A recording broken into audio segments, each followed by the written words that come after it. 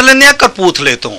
ਪੰਜਾਬ ਨਸ਼ਿਆਂ ਤੋਂ ਮੁਕਤ ਹੋਵੇ, ਇਸ ਲਈ ਪੰਜਾਬ ਸਰਕਾਰ ਵੀ ਸੁਚੇਤ ਹੈ ਤੇ ਪੰਜਾਬ ਸਰਕਾਰ ਵੱਲੋਂ ਆਪਣੇ ਆਫੀਸਰਾਂ ਨੂੰ ਦਿੱਤੇ ਹੋਏ ਦਿਸ਼ਾ ਨਿਰਦੇਸ਼ ਦੇ ਤਹਿਤ ਉਹ ਵੀ ਆਏ ਦਿਨ ਵੱਡੀਆਂ ਵੱਡੀਆਂ ਪ੍ਰਾਪਤੀਆਂ ਵਿੱਚ ਲੱਗੇ ਹੋਏ ਨੇ। ਜੇ ਅੱਜ ਜ਼ਿਲ੍ਹਾ ਕਰਪੂਥਲੇ ਦੇ ਕੋਤਵਾਲੀ ਪੁਲਿਸ ਵੱਲੋਂ ਇੱਕ ਬਹੁਤ ਵੱਡੀ ਪ੍ਰਾਪਤੀ ਕੀਤੀ ਹੈ ਕਿ ਜੰਮੂ ਕਸ਼ਮੀਰ ਤੋਂ ਲੈ ਕੇ ਆ ਰਿਹਾ ਇੱਕ ਟਰੱਕ ਲਗਭਗ 24 ਲੱਖ ਰੁਪਏ ਦੀ ਕੀਮਤ ਦੀਆਂ ਕੁੱਲ 400 ਕਿਲੋ ਚੂਰਾ ਪੋਸਟ ਡੋਡੇ ਬਰਾਮਦ ਕੀਤੇ ਗਏ ਨੇ। ਪੁਲਿਸ ਨੇ ਉਕਤ ਨਸ਼ੇ ਦੇ ਨਾਲ ਇੱਕ ਆਰੋਪੀ ਨੂੰ ਵੀ ਪਕੜਿਆ ਹੈ। ਪਕੜੀ ਗਈ ਇਸ ਨਸ਼ੇ ਦੀ ਖੇਪ ਦੇ ਬਾਰੇ ਜਾਣਕਾਰੀ ਦਿੰਦੇ ਹੋਏ ਥਾਣਾ ਕੋਤਵਾਲੀ ਕਰਪੂਥਲਾ ਦੇ ਐਸਐਚਓ ਨਵਦੀਪ ਸਿੰਘ ਤੇ ਉਹਨਾਂ ਵੱਲੋਂ ਕੀਤੀ ਗਈ ਕਾਰਵਾਈ ਦੀ ਪੂਰੀ ਜਾਣਕਾਰੀ ਦਿੱਤੀ ਹੈ।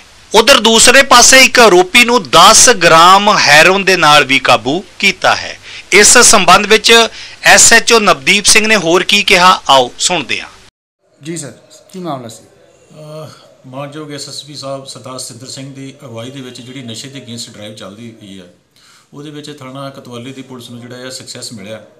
ਕੱਲ ਮੈਂ ਖੁਦ ਕਾਂਦਲੀ ਦੇ ਕੋਲ ਨਾਕਾਬੰਦੀ ਕੀਤੀ ਹੋਈ ਸੀ ਅਸੀਂ ਚੈ- ਵਹੀਕਲਾਂ ਦੀ ਚੈਕਿੰਗ ਕਰ ਰਹੇ ਸੀਗੇ ਤੇ ਉਹ ਸਾਨੂੰ ਜਿਹੜੀ ਇੱਕ ਸੀਕ੍ਰੀਟ ਇਨਫੋਰਮੇਸ਼ਨ ਮਿਲੀ ਵੀ ਸੰਨੀ ਸਨ of ਸੁਖਦੇਵ ਸਿੰਘ ਤੇ ਕੰਤਾ ਵਾਸੀ ਅਹ, ਬ- ਕਲਾਨੌਰ ਬਟਾਲਾ ਤੇ ਇਹਦਾ ਹੀ ਜਿਹੜਾ ਤੀਸਰਾ ਸੀਗਾ ਕਾਲਾ ਸਨ of ਚੰਨਰਾਮ ਵਾਸੀ ਡੋਗਰਾਵਾਲ। ਇਹ ਤਿੰਨ ਬੰਦੇ ਜਿਹੜੇ ਆ ਇਹ ਸਾਨੂੰ ਇਨਫੋਰਮੇਸ਼ਨ ਇਹ ਮਿਲੀ ਵੀ ਇਹ ਡੋਡੇ ਚੂਰਾ ਪੋਸਟ ਲਿਆ ਕੇ ਸ਼੍ਰੀਨਗਰ ਤੋਂ ਤੇ ਇੱਥੇ ਸੇਲ ਪਰਚੇਸ ਕਰਦੇ ਆ ਡੋਗਰਾਵਾਲ ਤੇ ਆਸ-ਪਾਸ ਦੇ ਏਰੀਆ 'ਤੇ ਇਹ ਇਨਫੋਰਮੇਸ਼ਨ ਮਿਲਣ ਤੇ ਮੈਂ ਮੌਕੇ ਦੇ ਉੱਤੇ ਪਹੁੰਚਿਆ ਪਹੁੰਚ ਕੇ ਜਿਹੜਾ ਸੀਗਾ ਜਦੋਂ ਉੱਥੇ ਟਰੱਕ ਦੇ ਕੋਲ ਪਹੁੰਚੇ ਤਾਂ ਅਸੀਂ ਜਿਹੜਾ ਸੰਨੀ ਨੂੰ ਰਾਉਂਡ ਅਪ ਕਰ ਲਿਆ ਬਾਕੀ ਦੋ ਜਣੇ ਉੱਥੇ ਹੈ ਨਹੀਂ ਸੀ। ਉਹ ਲੇਟਰ ਔਨ ਸਾਨੂੰ ਪਤਾ ਲੱਗਿਆ ਵੀ ਇਹ ਕਿਸੇ ਕਸਟਮਰਾਂ ਦੀ ਭਾਲ ਦੇ ਵਿੱਚ ਆਸੇ-ਪਾਸੇ ਕਿਤੇ ਗਏ ਹੋਏ ਆ। ਫਿਰ ਜਦੋਂ ਅਸੀਂ ਉਹ ਟਰੱਕ ਨੂੰ ਚੈੱਕ ਕੀਤਾ ਤਾਂ ਉਹਦੇ ਚ ਸਾਨੂੰ ਜਿਹੜਾ ਆ ਪੌਪੀ ਹਸਕ ਬਰਾਮਦ ਹੋਇਆ ਡੋਡੇ ਚੂਰਾ ਪੋਸਟ ਬਰਾਮਦ ਹੋਏ ਤੇ ਮੌਕੇ ਤੇ ਹੀ ਸਰਦਾਰ ਦਵਿੰਦਰ ਸਿੰਘ ਸਾਡੇ ਡੀਐਸਪੀ ਸਬ ਡਿਵੀਜ਼ਨ ਸਾਹਿਬ ਮੌਕੇ ਤੇ ਆ ਗਏ। ਤੇ ਮੌਕੇ ਤੇ ਆ ਕੇ ਜਦੋਂ ਅਸੀਂ ਉਹਨਾਂ ਦੀ ਗਿਣਤੀ ਕੀਤੀ ਤੇ ਉਹ ਜਿਹੜੇ ਸੀਗੇ 20 ਬੋਰੀਆਂ ਜਿਹੜੀਆਂ ਡੋਡੇ ਚੂਰਾ ਪੋਸਟ ਜਿਹੜੇ ਬਰਾਮਦ ਹੋਏ ਆ। ਇਹ ਆਲਮੋਸਟ 4 400 ਗ੍ਰਾਮ ਅਹ, 400 ਕਿਲੋਗ੍ਰਾਮ 4 ਕੁਇੰਟਲ ਜਿਹੜੇ ਹੋਏ ਆ। ਇਸ ਨੂੰ ਇਹ ਸ਼੍ਰੀਨਗਰ ਤੋਂ ਲੈ ਕੇ ਆਏ ਸੀਗੇ। ਅਸੀਂ ਇਸ ਦੇ ਚੈਨਲ ਦੇ ਪਿੱਛੇ ਹੋਰ ਕਿਹੜੇ-ਕਿਹੜੇ ਬੰਦੇ ਨੇ ਇਹਨਾਂ ਤੋਂ ਇਲਾਵਾ ਤੇ ਹੋਰ ਕਿਹੜੇ-ਕਿਹੜੇ ਕਸਟਮਰ ਨੇ ਉਹਨੂੰ ਬ੍ਰੇਕ ਕਰਨ ਦੀ ਕੋਸ਼ਿਸ਼ ਕਰ ਰਹੇ ਹਾਂ। ਤੇ ਜਲਦੀ ਜਿੱਦਾਂ ਜਿੱਦਾਂ ਅੱਗੇ ਫਰਦਰ ਪ੍ਰੋਗਰੈਸਿਵ ਜਿਹੜਾ ਹੋਊਗੀ ਤੁਹਾਨੂੰ ਅਸੀਂ ਡਿਸਕਲੋਜ਼ ਕਰ ਦਿਆਂਗੇ। ਤੇ ਇਹ ਜਿਹੜਾ ਕਾਲਾ ਆ ਤੇ ਇਹ ਦੂਜਾ ਕੰਤਾ ਆ ਇਹਨਾਂ ਤੇ ਅਸੀਂ ਰੇਡ ਕਰਾਂਗੇ। ਰੇਡ ਕਰਕੇ ਜਿਹੜਾ ਜਲਦ ਤੋਂ ਜਲਦ ਇਹਨਾਂ ਨੂੰ ਵੀ ਗ੍ਰਿਫਤਾਰ ਕੀਤਾ ਜਾਵੇ। ਸਰ ਕਿਸ ਤਰ੍ਹਾਂ ਇਹ ਜਿਹੜਾ ਚੂਰਾ ਪੋਸਟ ਤੇ ਇੱਥੇ ਸ਼੍ਰੀਨਗਰ ਤੋਂ ਲੈ ਕੇ ਆ ਰਹੇ ਸੀ? ਇਹ ਜਿਹੜਾ ਜਿਹੜਾ ਟਰੱਕ ਹੈ ਇਹ ਸੰਨੀ ਦੇ ਨਾਂ ਦੇ ਉੱਤੇ ਆ ਟਰੱਕ ਕਿਉਂਕਿ ਸੰਨੀ ਜਿਹੜਾ ਟਰਾਂਸਪੋਰਟੇਸ਼ਨ ਦਾ ਕੰਮ ਕਰਦਾ ਹੈ ਇਹ ਇੱਥੋਂ ਲੈ ਕੇ ਚਾਵਲ ਲੈ ਕੇ ਗਿਆ ਸੀਗਾ ਇੱਥੋਂ। ਉੱਥੇ ਜਦੋਂ ਲੈ ਕੇ ਗਿਆ ਮੌਕੇ ਦੇ ਉੱਤੇ ਤੇ ਉੱਥੋਂ ਜਦੋਂ ਗੱਡੀ ਇਹਦੀ ਖਾਲੀ ਆ ਗਈ ਤਾਂ ਬਟਾਲੇ ਤੋਂ ਇਹਨੇ ਜਿਹੜੀ ਲੋਡ ਕੀਤੀ ਹੈ। ਇਹਦੇ ਵਿੱਚ ਦੱਸਦੇ ਵੀ ਸ਼੍ਰੀਨਗਰ ਤੋਂ ਲੈ ਕੇ ਆਏ ਸੀਗੇ ਕਿਉਂਕਿ ਕਾਲਾ ਤੇ ਕੰਤਾ ਦੋਵੇਂ ਇਸ ਬਿਜ਼ਨਸ 'ਚ ਜਿਹੜੇ ਆ ਇਨਵੋਲਵ ਨੇ। ਤੇ ਉਹ ਉੱਥੋਂ ਜਦੋਂ ਇੱਥੇ ਲੈ ਕੇ ਆਏ ਤਾਂ ਇੱਥੇ ਤੱਕ ਪਹੁੰਚੇ ਤੇ ਉਸ ਤੋਂ ਬਾਅਦ ਇਹ ਮੌਕੇ ਦੇ ਉੱਤੇ ਫੜੇ ਗਏ। ਇਹ ਕਿੰਨੇ ਸਮੇਂ ਤੋਂ ਸਰ ਇਹ ਇਹ ਸੀ? ਦੱਸਦੇ ਆ ਵੀ ਇਹਨੇ ਆਪਣੀ ਇਨਵੈਸਟੀਗੇਸ਼ਨ 'ਚ ਦੱਸਿਆ ਹੈ ਵੀ ਇਹ ਮਤਲਬ ਉਹਦਾ ਥਰਡ ਚਾਂਸ ਹੈ। ਪਹਿਲਾਂ ਦੋ ਵਾਰੀ ਜਿਹੜਾ ਸਕਸੈਸਫੁਲ ਡਿਲੀਵਰੀ ਕਰ ਚੁੱਕਾ ਸੀ ਤੇ ਥਰਡ ਚਾਂਸ ਦੇ ਵਿੱਚ ਜਿਹੜਾ ਸੀਗਾ ਇਹ ਫੜਿਆ ਗਿਆ। ਇਹ ਸਰ ਡਿਲੀਵਰੀ ਕਿੱਥੇ ਦੇ ਰਹੇ ਸੀ? ਪਹਿਲਾਂ ਪਹਿਲਾਂ ਜਿਹੜਾ ਦੱਸਿਆ ਦੋ ਵਾਰ ਡਿਲੀਵਰੀ ਦਿੱਤੀ ਜਿਹੜਾ ਕਿਸ- ਕਾਲਾ ਹੈ ਇਹ ਡੋਗਰਾਵਾਲ ਦਾ ਹੈ ਇੱਥੇ ਥਾਣਾ ਸੁਭਾਨਪੁਰ ਚ ਪਿੰਡ ਪੈਂਦਾ। ਉਹ ਉੱਥੇ ਹੀ ਉਹ ਆਸ-ਪਾਸ ਏਰੀਏ 'ਚ ਇਹਨਾਂ ਨੇ ਡਿਲੀਵਰ ਕਰਵਾਏ ਆ ਪਹਿਲਾਂ।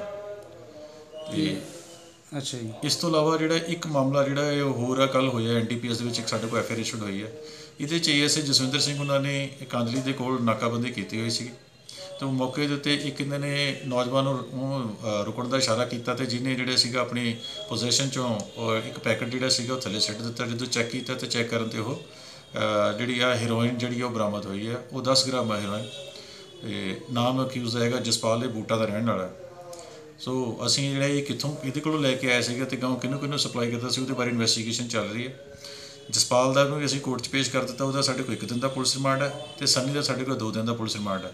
ਅਸੀਂ ਇਹਨਾਂ ਦੇ ਜਿਹੜੇ ਨੈਕਸਸ ਹੈ, ਉਹਨੂੰ ਬ੍ਰੇਕ ਕਰਨ ਦੀ ਹਰ ਲੈਵਲ ਦੇ ਉੱਤੇ ਇਹ ਕੋਸ਼ਿਸ਼ ਕਰਾਂਗੇ ਤੇ ਟੈਕਨੀਕਲੀ ਜਿਹੜੇ ਆ, ਉਹ ਵੀ ਇਹਦੇ ਲੈਵਲ ਅਸੀਂ ਕਰਦੇ ਪਏ ਇਹਨਾਂ ਦੇ ਜਿਹੜੀਆਂ ਡਿਟੇਲਸ ਵਗੈਰਾ ਲੈ ਕੇ, ਇਹਦੇ ਨਾਲ ਹੋਰ ਕਿਹੜੇ ਕਿਹੜੇ ਬੰਦੇ ਇਨਵੋਲਵ ਹੈ ਉਹਨਾਂ ਨੂੰ ਪਿਕਚਰ 'ਚ ਲੈ ਕੇ ਆਵਾਂਗੇ ਤਾਂ ਕਿ ਜਿਹੜਾ ਹੈ ਇਸ ਸੋਸਾਇਟੀ ਦੇ ਵਿੱਚੋਂ ਜਿਹੜਾ ਨਸ਼ਾ ਖਤਮ ਜਿਹੜਾ ਕੀਤਾ ਜਾ ਸਕੇ ਸਾਡੀ ਇੱਕ ਕੋਸ਼ਿਸ਼ ਆ ਜਿਹੜੀ। ਕੋਈ ਸਫੇਦ ਫੌਜ ਵੀ ਜਿਹੜੇ ਲੀਡਰ ਸਫੇਦ ਫੌਜ ਜਿਹੜੇ ਬੰਦੇ ਆ ਉਹ ਵੀ ਇਸ ਧੰਦੇ ਦੇ ਨਾਲ ਕੋਈ ਰਿਲੇਟਿਵ ਹੈ? ਦੇਖੋ ਜੀ ਜਿਹੜੀ ਇਹ ਮਾਨਯੋਗ ਸੀਐਮ ਸਾਹਿਬ ਨੇ ਸਿੱਧੀਆਂ ਕਲੀਅਰ ਕੱਟ ਡਾਇਰੈਕਸ਼ਨ ਨੇ ਉਹਨਾਂ ਦੀਆਂ ਵੀ ਜਿਹੜੀ ਐਨਡੀਪੀਐਸ ਦੇ ਲੈਵਲ ਦੇ ਉੱਤੇ ਜਿਹੜਾ ਆ ਕਿਸੇ ਦੀ ਕੋਈ ਸਿਫਾਰਿਸ਼ ਨਹੀਂ ਹੈ। ਸੋ ਨਾ ਤਾਂ ਅਸੀਂ ਸਾਨੂੰ ਕੋਈ ਮਤਲਬ ਇਸ ਤਰੀਕੇ ਨਾਲ ਅਪਰੋਚ ਕਰਦਾ ਤੇ ਨਾ ਹੀ ਅਸੀਂ ਕਿਸੇ ਦੇ ਅੰਡਰ ਪ੍ਰੈਸ਼ਰ ਆਉਂਦੇ ਆ ਸੋ ਜੇ ਇਹ ਬੰਦੇ ਜਿਹਦੇ ਕੋਲ ਜਿੰਨੀ ਚੀਜ਼ ਹੈਗੀ ਅਸੀਂ ਉਨੇ ਦੀ ਹੀ ਉਹਦੇ ਤੇ ਰਿਕਵਰੀ ਜਿਹੜੀ ਹੋਈ ਹੈ। ਕੋਈ ਇਹੋ ਜਿਹਾ ਹੈ ਨਹੀਂਗਾ ਜਿਹੜਾ ਜੋ ਐਸ ਪਰ ਲੀਗਲ ਹੈ ਅਸੀਂ ਉਹੀ ਕਰਦੇ ਹਾਂ। ਕਿਸੇ ਦੀ ਇਹਦੇ 'ਚ ਕੋਈ ਸਿਫਾਰਿਸ਼ ਨਹੀਂ। ਕਪੂਰਥਲੇ ਤੋਂ ਨਰੇਸ਼ ਖੋਸਲਾ ਦੀ ਰਿਪੋਰਟ। ਮੈਂ ਆਪਣੇ ਇਹ ਮੋਢਿਆਂ ਤੇ ਗੋਡਿਆਂ ਤੋਂ ਬਹੁਤ ਦੁਖੀ ਸੀ। ਮੇਰੇ ਲਈ ਤਾਂ ਤੁਰਨਾ ਫਿਰਨਾ ਵੀ ਇੰਨਾ ਔਖਾ ਹੋਇਆ ਸੀ ਮੈਂ ਦੱਸ ਵੀ ਨਹੀਂ ਸਕਦਾ। ਪਰ ਜਦ ਤੋਂ ਮੈਨੂੰ ਫੀ ਰਿਲੀਫ ਮਿਲਿਆ ਹੈ, ਢਾਈ ਤਿੰਨ ਮਹੀਨੇ ਇਸਤੇਮਾਲ ਕਰਨ ਤੋਂ ਬਾਅਦ ਗੋਡੇ ਵੀ ਓਕੇ ਮੋਢੇ ਵੀ ਓਕੇ ਜੇ ਤੁਸੀਂ ਵੀ ਕਿਸੇ ਇਸ ਤਰ੍ਹਾਂ ਦੀ ਬਿਮਾਰੀ ਤੋਂ ਪਰੇਸ਼ਾਨ ਹੋ ਤੇ ਬੇਸਹਾ ਬੇਝਿਜਕ ਹੋ ਕੇ ਇਸ ਨੂੰ ਇਸਤੇਮਾਲ ਕਰੋ। ਸਿਰਫ ਢਾਈ ਤਿੰਨ ਮਹੀਨੇ। ਇਹ 125 ਬਿਮਾਰੀਆਂ ਤੱਕ ਦੇ ਇਲਾਜ ਕਰ ਸਕਦਾ ਹੈ। ਫੀ ਰਿਲੀਫ ਹਮੇਸ਼ਾ ਯਾਦ ਰੱਖੋ ਬਸ। ਕੁਝ ਦਿਨਾਂ ਤੋਂ ਮੈਨੂੰ ਬਾਲਾਂ ਦੀ ਬੜੀ ਸਮੱਸਿਆ ਸੀ। ਮੇਰੇ ਬਾਲ ਝੜਨੇ ਸ਼ੁਰੂ ਹੋ ਗਏ ਸੀ। ਮੈਨੂੰ ਮੇਰੇ ਦੋਸਤ ਨੇ ਆਇਲ ਫੀ ਰਿਲੀਫ ਵਾਲੇ ਦੱਸਿਆ।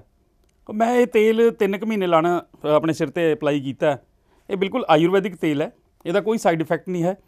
ਤੇ ਮੇਰੇ ਬਾਲ ਜਿਹੜੇ ਗੰਜਪਣ ਪੈਣਾ ਸ਼ੁਰੂ ਹੋ ਗਿਆ ਸੀ, ਉਹ ਦੁਬਾਰਾ ਆਉਣ ਲੱਗ ਗਏ।